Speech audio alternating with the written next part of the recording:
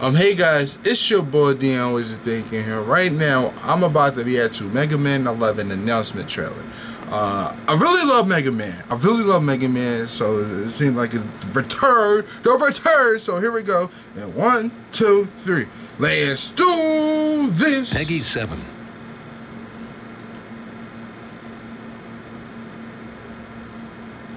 Oh man.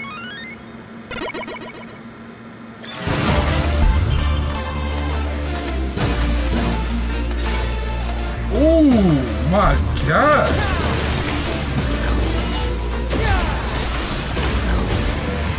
Look at the visual, like it looks just so good.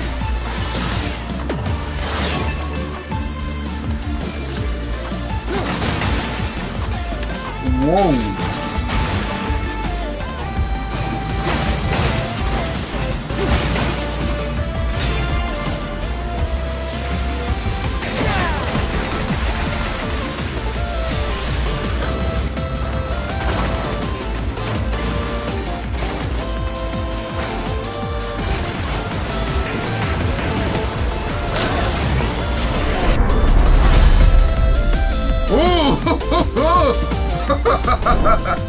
Late 2018. Oh man.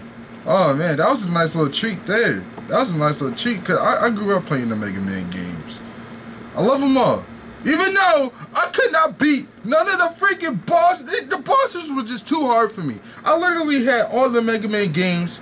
I, I went through a couple missions. Uh, I had this DS game. I, I went far through there, but then I didn't even know where to go after that.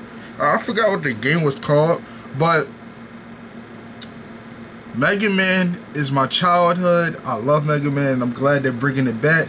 Mega Man 11, and the game just looks revamped, and I love the style of the game. Uh, they gave us a little glimpses of his ultimate power. Like he, he blew that shit to pieces, and uh, his other uh, forms he had.